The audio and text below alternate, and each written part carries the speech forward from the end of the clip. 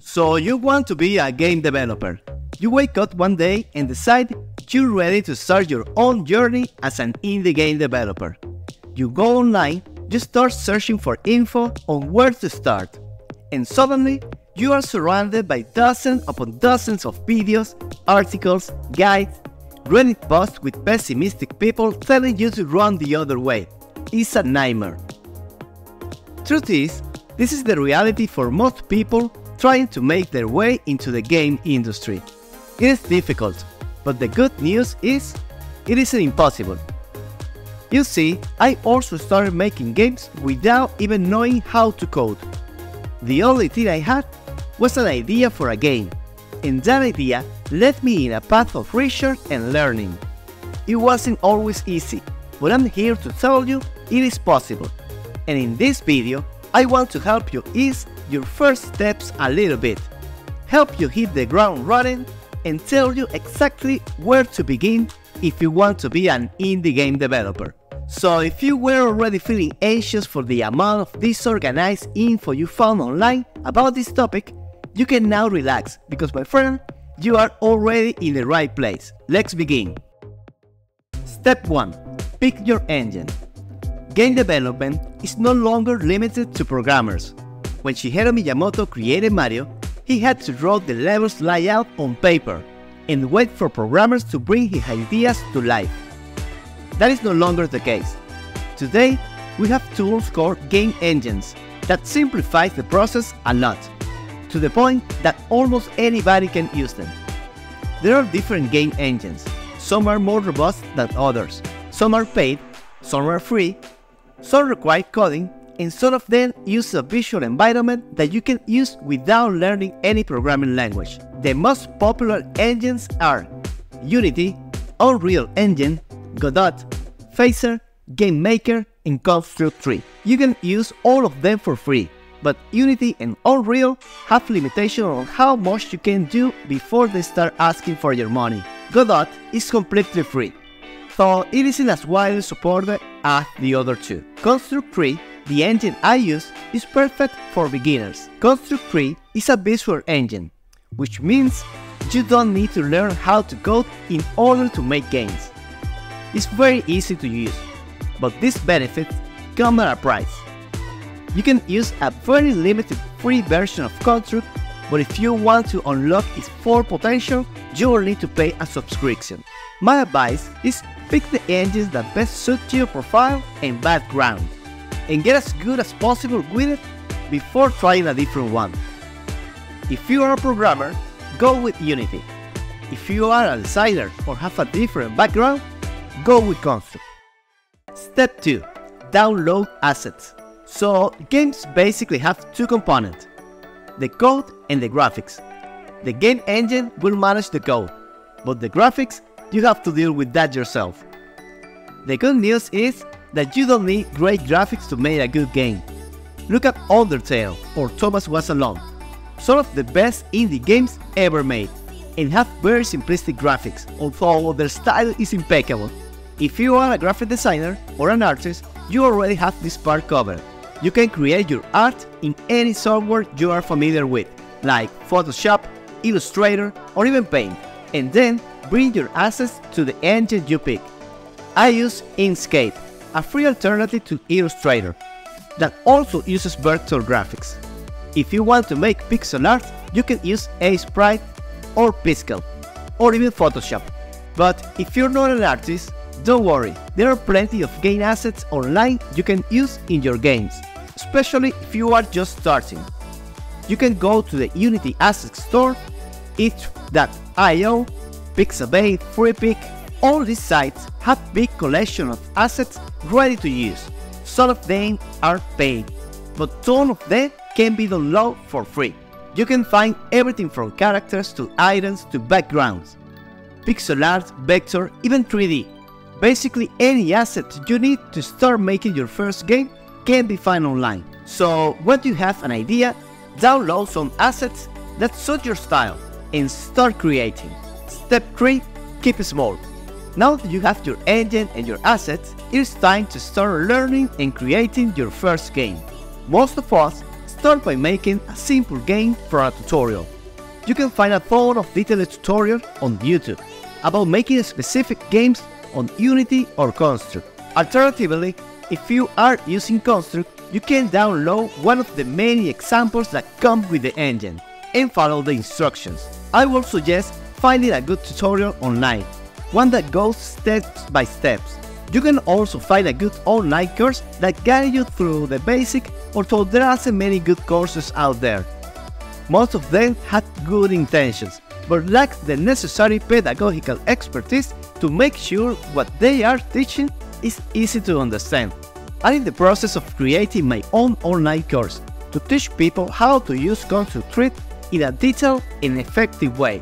But in the meantime, I would say look for a tutorial online and follow the steps as close as possible. Game design with Riley has some good ones. The important thing during this step is that you keep your ideas in check. Keep it small. Most aspiring indie game developers quit during this phase because they want to build the next Skyrim or the next Fortnite. And sorry but that's not possible. The first game from most of us was pretty bad, and that's okay, because your first game isn't supposed to be a bestseller, it's supposed to help you learn. So start small, like Flappy Bird Small. If you are thinking of making Angry Birds, that's too big, go small. Keep your ideas on check. Even for your second and third game, keep them small and you'll have more chances of success. Step 4. Don't be afraid to fail. One of the videos that made an impact on me during my early career was a video from Extra Credit that was called Fail Faster. They kept selling this idea that failing is a good thing and you should fail as fast as possible. At first, I thought this sounded crazy, but the more I learned, the more I understood what they meant. You see, failing is part of the process when you are learning a new skill. Failing is only a bad thing if you don't learn from it. Every time you fail, you are a little bit closer to your goal because failing is an opportunity to look back, understand what you did wrong, and do it a little better next time. That's learning. That's how you get better. So don't be afraid of starting a new game even if you don't know exactly what you're doing, because if you fail, you will learn and you'll do it better next time. Step 5. Share your creations. Once you are up and running and you start creating your own games, feel free to share them online. This game dev community is usually very nice. Nobody will be rude to you. If you say, hey, this is my first game, people will give you advice, encourage you, and listening to what players say will contribute to your overall learning curve. It is important to put your game in players' hands as soon as possible, because as weird as it sounds, when you start creating a game, you might kinda lost the ability to judge your own games objectively. Listening to what players think about your game is the best way to make it better. There are several places where you can share your games online. I would recommend creating an itch.io account. Itch is the main place to share amateur games. It is free and it has a lot of players looking for new games to try. You can create an account on itch.io in a few minutes and then upload your games super quick too. Having your game online is a great way to share it to the world. And the best part of a site like Itch is that it lets you customize your game page, so it has more info about your games, screenshots, videos, you name it. You'll get a ton of feedback that way, and when you are ready to take it to the next step, you can join one of the many game jams hosted on Itch, where you'll get even more players and put your newly developed skills to the test. Step 6. Ask around. When you start using your game engine of choice, chances are you'll find yourself stuck one way or another. Sometimes you have an idea but don't know how to implement it, or you can encounter a weird bug you don't know how to fix. When this happens, feel free to ask around in the forums. Every engine has a dedicated community that is usually super helpful and can get you unstuck pretty fast. Just make sure you Google your issue before starting a new thread about it. There's a big chance someone else had the same issue before and already asked. These interactions are very easy to find online and will save you time. So if you want to make your character double jump but don't know how to do it, go ahead and type how to double jump in Construct 3 and I guarantee 90% of the time Google will give you the answer.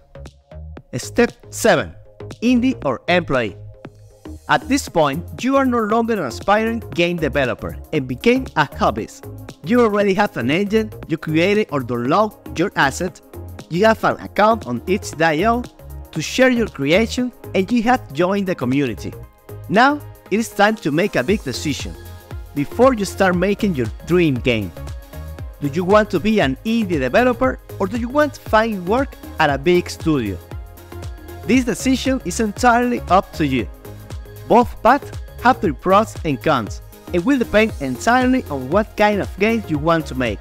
If you are a creative person, if you have your vision of what games you want to make, and want to have full control over your creative process, go indie. You already have the creative skills to do it. Now, you need to learn about the business, how to market your game, how to contact publishers. You can learn this along the way, and I actually talk about that on one of my other videos. But if you don't mind working on someone else's idea, if you want to work on bigger productions and maybe have your name credited on a big AAA title, then start building your portfolio and look for job offers in the big leagues. This is a difficult path, but just as valid as being an indie. Just know that the game industry is very unstable, and sometimes jobs like this in big studios aren't as reliable or stable as being your own boss. No matter what path you choose, I hope this video was helpful on getting you started. I hope you feel more comfortable now on what to do and where to start. If you have it more clear now, consider supporting me by subscribing to the channel and liking the video. Now go pick an engine and make sure to join our Discord server where you can share your first game with other people who are also starting. Let's help each other grow and become the next wave of indie game developers. Thank you so much for watching and I'll see you all in the next one. Bye!